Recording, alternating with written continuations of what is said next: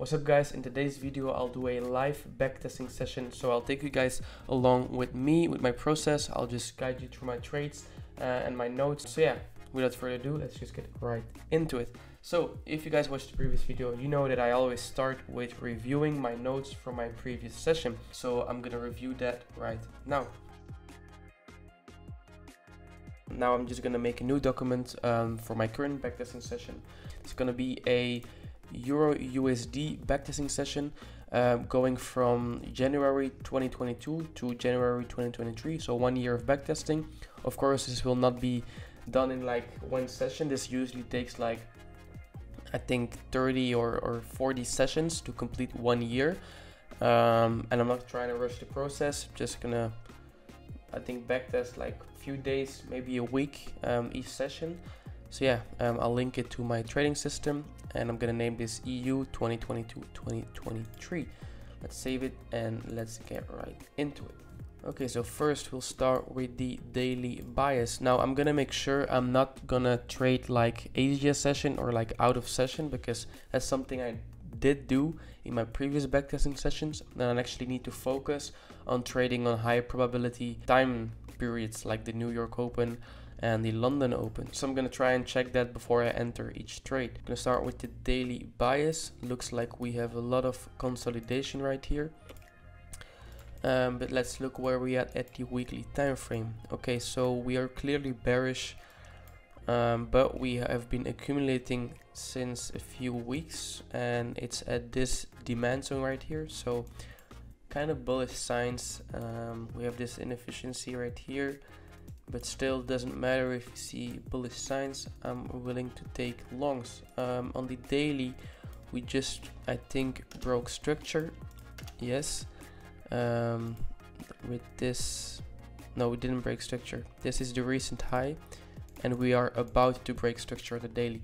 Um, but when I see this I just take longs. It doesn't really matter if it is about to break structure um, is just bullish signs. I'm not gonna take shorts in this in these market conditions. So um, I'm gonna look for longs uh, before I look for any setup. I'll always define my target first because if we are gonna trade uh, without a target, then then what what are we trading, right? We we want price to go somewhere, and therefore we need to draw on liquidity target first. For me personally, I want this fair value gap um, to be filled, and I usually take like the 0.5 of it. So there's gonna be one target and then my second target for potential longs is this strong supply. Now why is this a strong supply in my opinion? Because you just clearly see that market makers have been accumulating uh, short orders and then just like this big candle, this big big candle just showed you that um, there was a lot of um, sell pressure from from institutions and this is basically where they filled their orders. So this is a nice point of interest to maybe unload the, the long bags and just take profits on longs. But that being our targets, let's look for um, point of interest on the hour 4 and hour 1 time frame um, where I can take potential trades off. So what do I see? First of all, I always do the um, discount and premium. So I'm gonna only take trades right here. Um, so what I'm interested in, let's see. Yeah, on the hour one, it's gonna be a nice order block just inside the um, yeah discount. And this is a nice break of structure tap so this is also nice confluence I take sometimes with a setup. Um, this is just simple like retail stuff but it works. Um, you break the high you can retest it. So I also take this as an extra confluence if it's inside an order block and a value gap in the in the discount. So it's nice. So I'm looking for um, long setups right here.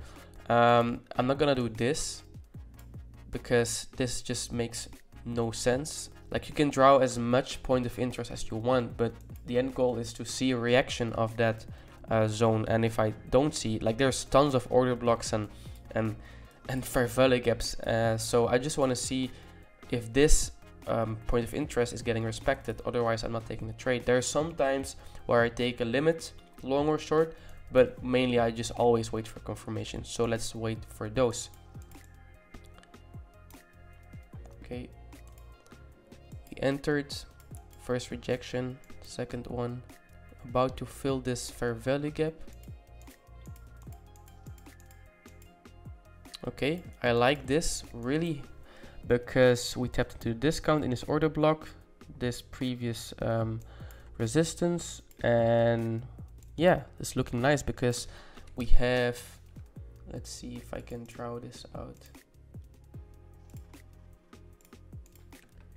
We have a first sweep, second one, and a third one, and it's looking interesting because let's just delete this one because this is indicating that there's a lot of momentum right here. You see, we break the, the high that brought us to our last low and the low is perfectly bouncing off this accumulation zone. So interested in some longs right here. Look at this big candle. This is what you want to see. This is how you trade with the institutions. So um, yeah, I'll just take the um, Fibonacci like the premium discount and I think I will enter right here with my stop loss at this low. Um, let's see on the 50 minute time frame yeah so um, I always switch between the 5 minute and the 50 minute just because uh, sometimes you see things on the minute 5 that you don't see on the minute 5 15 and vice versa. So for this particular reason I like to trade more of this um, breaker block just because we have so much bullish momentum I, I don't want it to see all the way coming down. Yeah it can be but maybe I'll just miss out on a trade and it's better to in my opinion just maybe enter on this minute 5 breaker. So my entry is gonna be right here and then my stop loss can be at this low just to higher my risk to reward. So let's pull these take profits towards my I mean like yeah I defined my draw liquidity targets but I'm not gonna aim for these crazy RRs for 7 RR I don't do it but let's just see the reaction of certain areas and then we can take profits manually. So let's see what happens. Okay we got stopped out. I don't care. We just go further.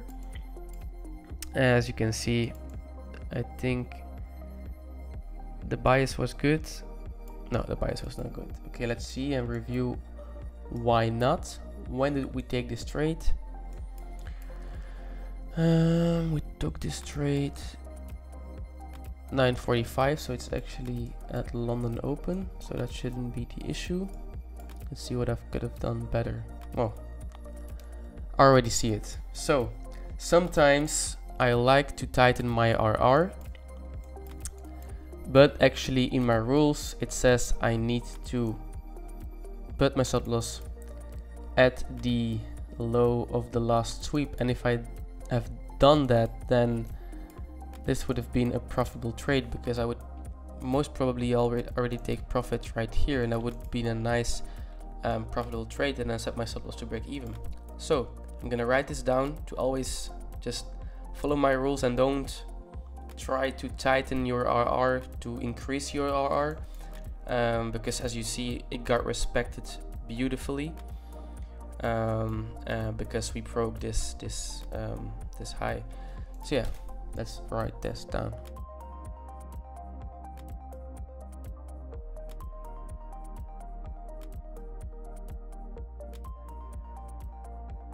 and actually one last thing I want to say is I can do this. I can increase my RR.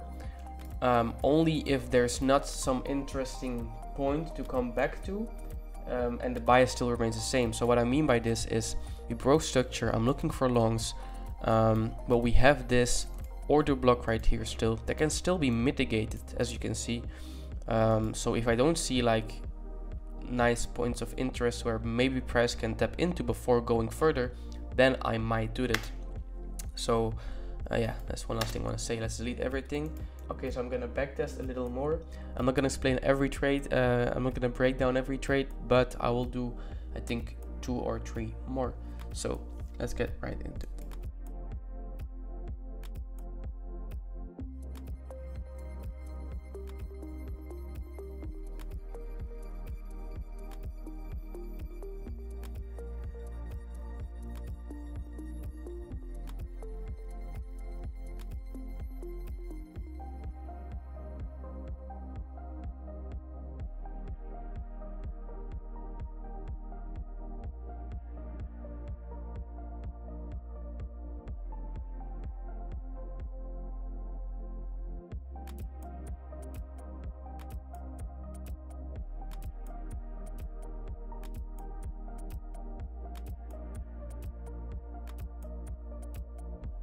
Okay, so one thing I want to say is I noticed myself saying a lot like, oh, this was a nice trade. I missed this.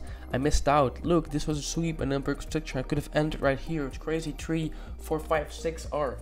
Um, if you're like that, please stop it because if you keep blaming, like, it's your fault that you missed this. Like, you can see tons of opportunities, but only the ones you take. Um, you take. I mean, it makes no sense uh, if I say this, but you just have to understand that just don't blame the markets on missing opportunity. It's all on you. It's just all on you. And don't say like I missed this. No. Yes, I mean you missed this, but it's it's completely your fault, and it's not because you missed this that you're actually a profitable trader. Because a profitable trader also means you catch every opportunity you see, and you didn't. So you can't say like, okay, I'm a, I can make crazy, I can make crazy profits from the market if you miss the setup. It's all on you. Trading is for me personally I realized not just having a profitable strategy, um, but it's mostly just execution. Are you showing up? Were you there when when um, your trading plan was developing? No, then just shut the fuck up because you can't say like I could have taken this trade. Just say it's completely on me. I'm not a profitable trader because I missed the setup. So yeah, I hope this makes sense. okay, so again we are at the range high. So should act as a resistance for retail traders. Um, sometimes it does, but let's just watch out for that and not force any longs. Um, this is an area of interest. Again, this is so simple, guys. Just some some areas of interest in the discount, but trading is just all about keeping it simple and just showing up when you need to.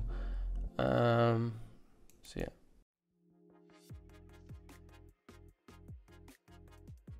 Okay, so usually when you see these kind of candles, like the long is over. I like to look for shorts when this happens because yes, this is indicating displacement and we want to look for entries on the retracement to maybe target even higher. But like when a candle is like this big, like three times bigger than the, the normal candles developing, um, then you're too late, I think. Um, maybe, of course, it can still go higher, but it's not favorable um, in my opinion, of course um, because look we are also mitigated this big candle with the with the next hour one. So yeah let's just see where we at. Look at this. Don't force any longs because we are literally at the equilibrium of this fair value gap. Um, only if I see strong confirmation I'll maybe look for some longs. But I'm not gonna force anything and especially not gonna set a limit right here Okay, so this doesn't look very bullish anymore. We're just accumulating. Let's got the R1 time frame. Okay, so we entered back inside the, I think, discount. Yeah. Um, let's see if you look for any bullish signs so we can enter on the bullish bias.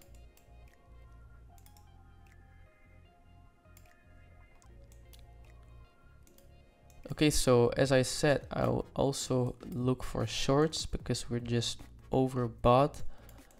Um, this is a nice area of interest and we made an inducement right here so this can act as an, an extra confluence.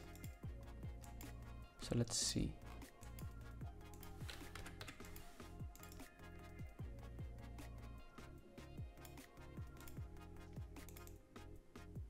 And it's okay to just delete your points of interest if they don't play out if they don't get respected. That's the, the name of the game. You just draw out what you think will get respected. If it doesn't just delete it. If it does just take the trade. That's simple. So we switched very bearish. Yeah. So let's look for some shorts. Just following the trend if the draw liquidity, the main objective is not taken out already, of course. But in my opinion, this is really strong trend line liquidity that can be taken out in the near future.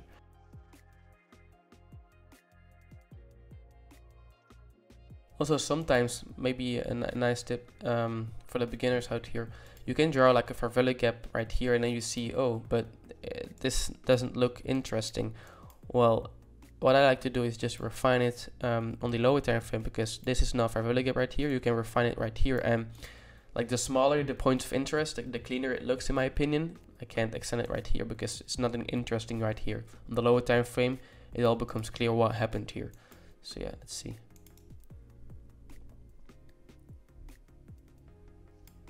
Okay, we just stepped into this.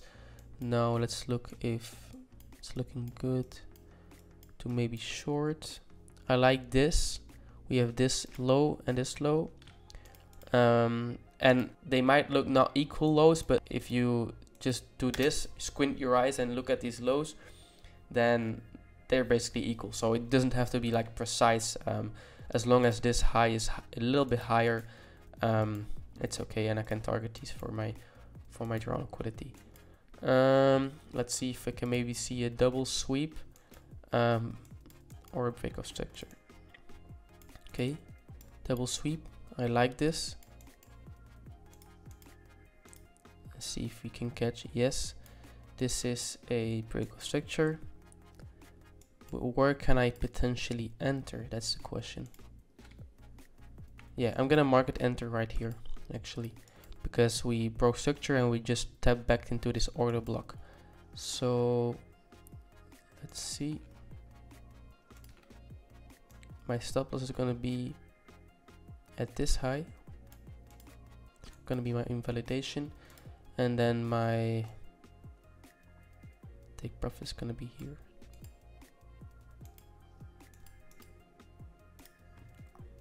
Sell market 1%.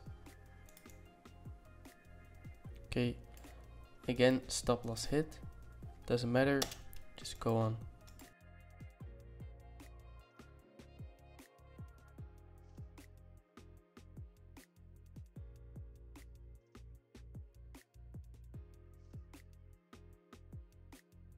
Guys, this is just horrible price action. Like, what the is this? Um, I'm not gonna blame my, my, my losing trades because of this, but still it can maybe play a big factor into into having bad trades. Okay, okay. I like this. We broke structure. Um, let's make this a little cleaner for you guys. Um,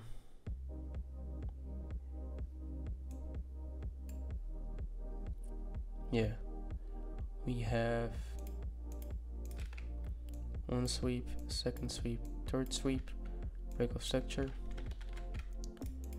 Um, so let's look for an entry of this value gap.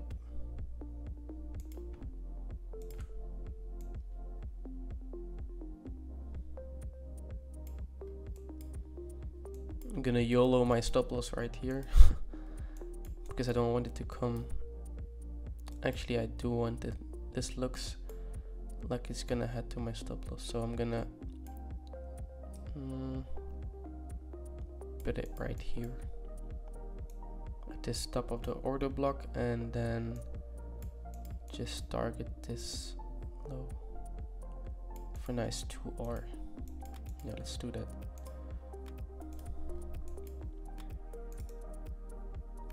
okay again you just witnessed me not following my trading plan. And guys, if you have a trading strategy, can all work fun and stuff. I, I, I don't have my trading strategy next to me. I should have it. Okay. I'm just gonna dump this in my face because I was literally not following my trading strategy. Stop loss at the high or low of last sweep. What did I do? I didn't set my stop loss at the high of the last sweep and if I did target lower,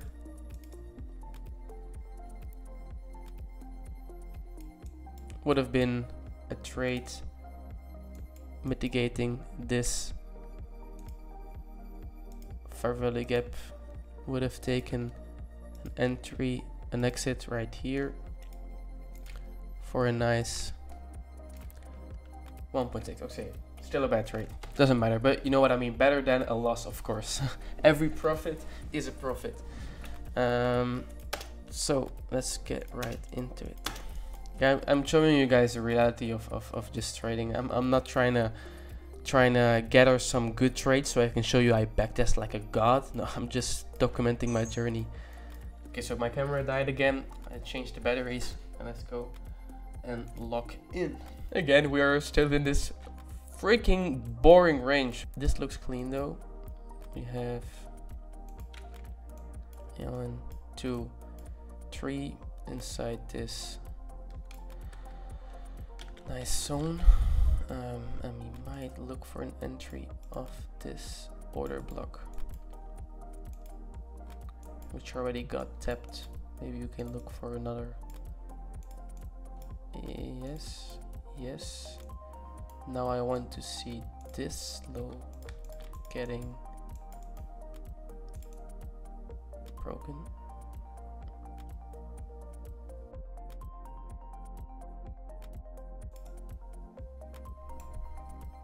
Okay.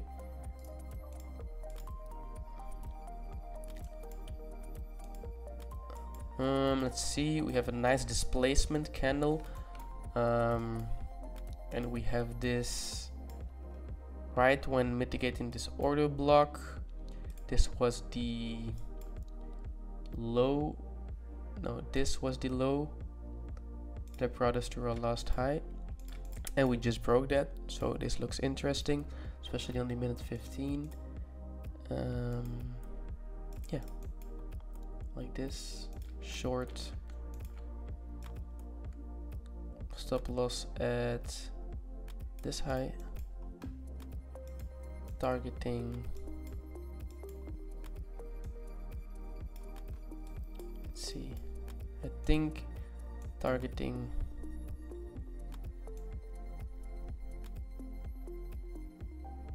Mm, these lows no. If it takes out this lows it can also take out this low and also this. So I'm just gonna make this towards the range low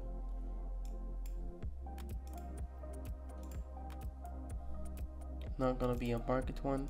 It's gonna be a limit.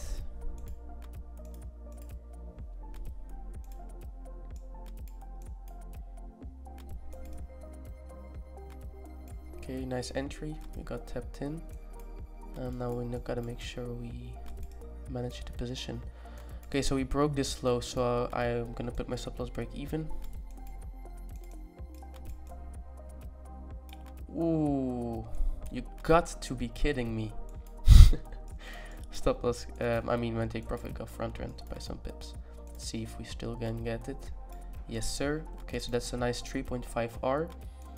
Um, so yeah, nice trade. I'll always um, tell my notes why this was a profitable trade. So first of all, I'm gonna um, take a screenshot of it with clean annotations. Um, so basically what was the reason for the entry? First of all, tree dive into this, yeah, what should we call it? Just the, the tap of the, of the breaker block right here. Then we made a new low, looking for another point of interest, which was this R1 order block um, we swapped into it, looked bearish again. We broke structure with a low, us last um, high, and then I entered on the equilibrium of this break of structure candle, targeting just draw liquidity on the very high time frame, which was in this case the range low. So nice trade. I'm gonna write this down.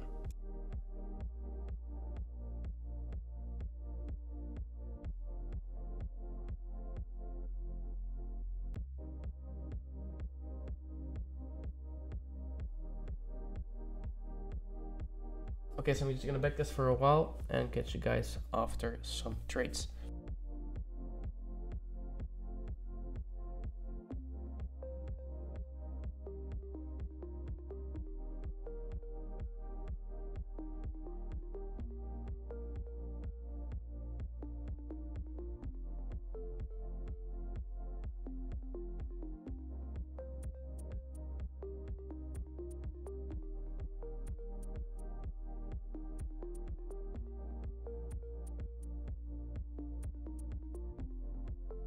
Yeah, so really bad session. I'm like 3% into drawdown, um, but that's the reality of trading. But of course, if you're actually taking a trade on live accounts, um, there's more to be looking at. For example, at correlated pairs, at the dollar index, at news events. I don't see all of these things. I'm just like eyeballing some trades and I should do better. But this is just a video to show you guys what my process is, um, how I actually like take the notes simultaneously um, to just keep getting better and better. So yeah i hope you guys learned something from this video. Um, again just documenting my journey. If you like this type of content would appreciate the like and subscribe? And then I, I know that I should keep going with this content um, because I know if I keep going I don't care if it takes me another few months years five years at the end if I'm profitable I made it. So that's the end goal, and I enjoyed the process. So I hope you enjoyed it with me. Peace out.